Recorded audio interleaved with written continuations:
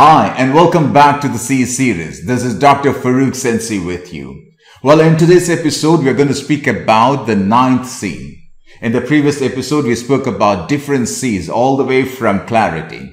If you have missed any of the episode, make sure that you go and watch them before you watch series number nine.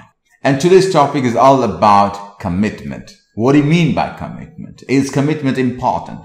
One thing that we need to know, you and I, without commitment, there is no start. There is no beginning. Without commitment, there is no moving forward. And without commitment, there is no finishing.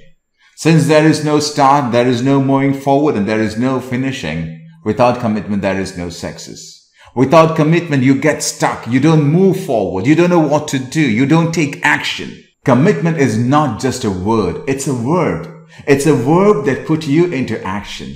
Without action, you will never move forward. Without action, you will never succeed. It is all about doing with your heart. It's something binding you with where you want to go. It's all about taking responsibility on your shoulder and telling to yourself that I have to go. I must go. It's not I should go. It's all about I must go. Maybe for yourself or it could be for somebody else. It could be for your family. It could be for your team. It could be for your organization. It could be for your community. It could be for your country. It could be for some other human being. Commitment is all about taking responsibility and moving forward. Commitment is a promise that you make to yourself. You may have a very clear goal. You may have a very clear vision. You may have a strategy. You may have the plan in place. But what's the use of it if you don't commit yourself to move forward? And that's the reason commitment is not a word. It's a verb. And without that verb, without that action, it's impossible for you to move forward and achieve what you want to achieve. So the next step, if you have a clear goal, if you have a clear vision, and if you have the competency, the next thing that you need to ask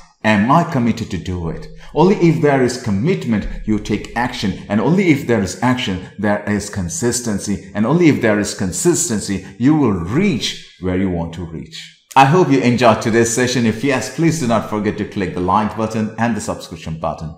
Thank you very much. This is Dr. Farookh Sensei with you.